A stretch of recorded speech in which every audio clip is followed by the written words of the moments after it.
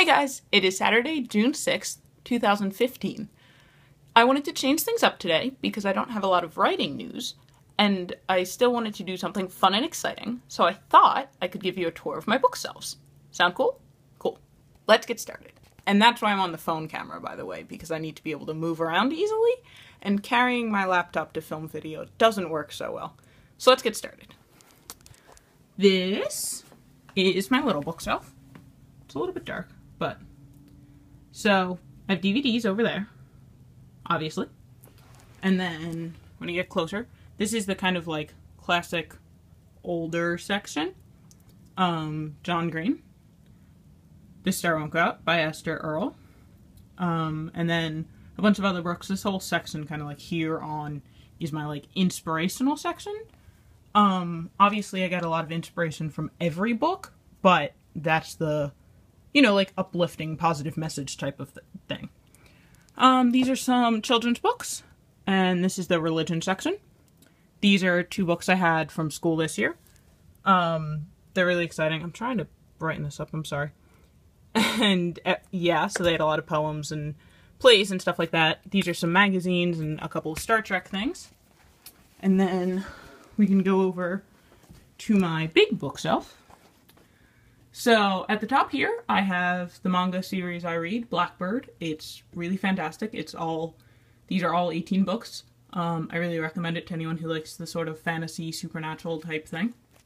Um, this is a pile of books I need to read, and then I also have a number of them downstairs from the library. These are CDs. There's a bunch of stuff on those shelves. This is Percy Jackson.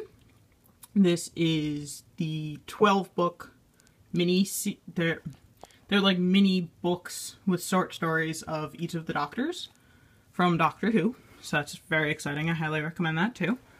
Um, these are like classics. This is kind of like reference. These are like fiction ish stories, biography type things. I don't I don't have set organization by like genre or anything. Um, it's books uh, Peter and the Starcatcher series, which is next to Kingdom Keepers because it's the same author.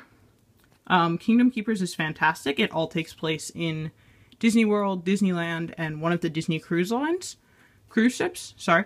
So if you're a Disney fan, I highly recommend that. Um, these are the. This is my John Barrowman section.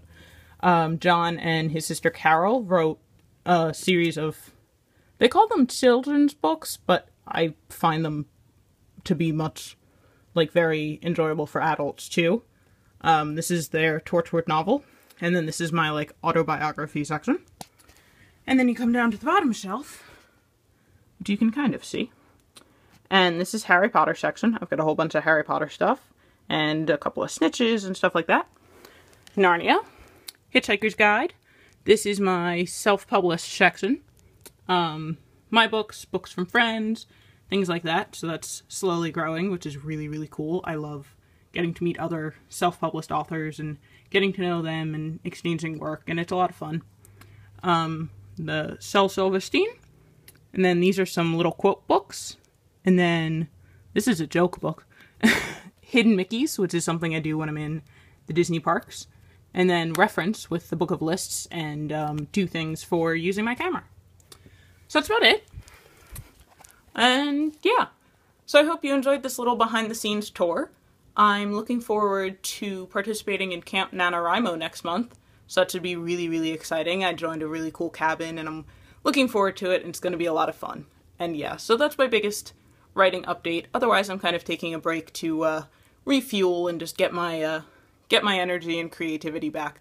But yeah, so I hope everyone's enjoying their summer. Congrats to anyone who's graduated, and good luck in all of your future endeavors, and I hope everyone else is doing well.